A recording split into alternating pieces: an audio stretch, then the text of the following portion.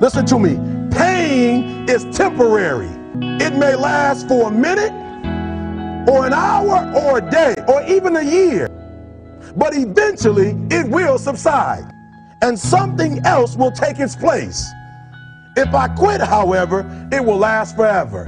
I dare you not to go home.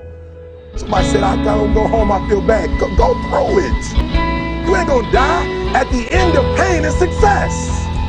You're not gonna die because you're feeling a little pain. I'm not eating like I eat at home. That's why you're about to go to the next level. Because if you keep eating like you ate at home, you'll keep being a boy or a girl.